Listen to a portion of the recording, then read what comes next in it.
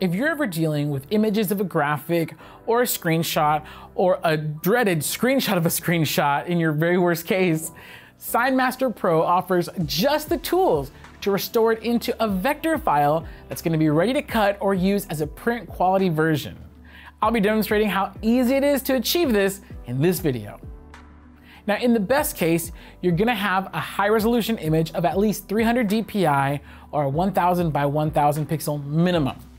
Now, SignMaster Pro's vectorization tool works best with flat colored graphics, so no gradients or photographic details.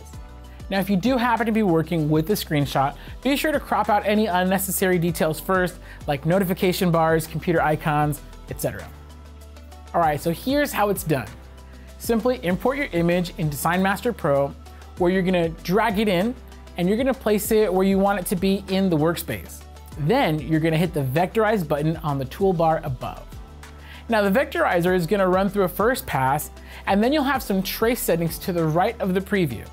Now usually you don't need to change much when you're vectorizing a high resolution image, though if you want to, you can adjust the smoothing, the corners, and the level of detail to retain sliders, which can help you for lower resolution images.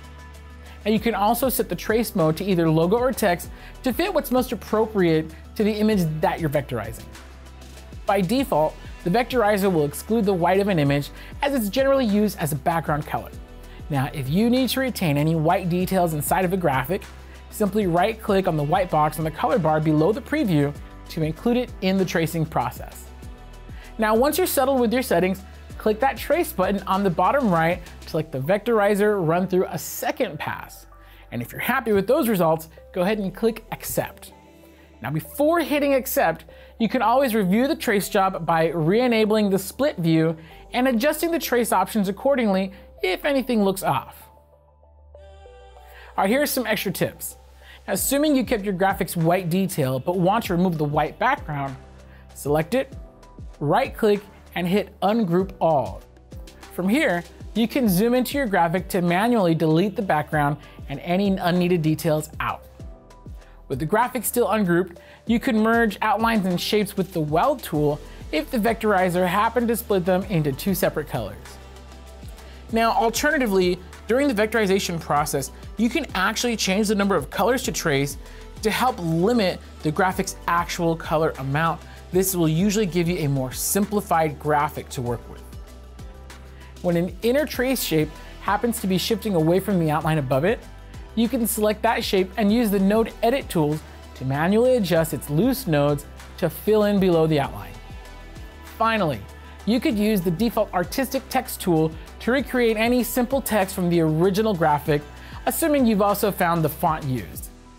Now, an external online tool worth using to find fonts is What the Font, where you can upload the image and have it detect which fonts are gonna best match it. Now, once you're done with the graphic entirely, you'll have the option to save it as an AI, EPS, PDF, or SVG vector file ready for your purposes beyond vinyl, contour cutting, or whatever it is that you need. All right, now you know how to restore images that, yes, may have once been a screenshot of a screenshot and turn them into a high quality vector graphic. For more information on vinyl systems, SignMaster Pro, or any other heat transfer products, please feel free to visit us at heatpressnation.com. You can also give us a call at 800 215 0894.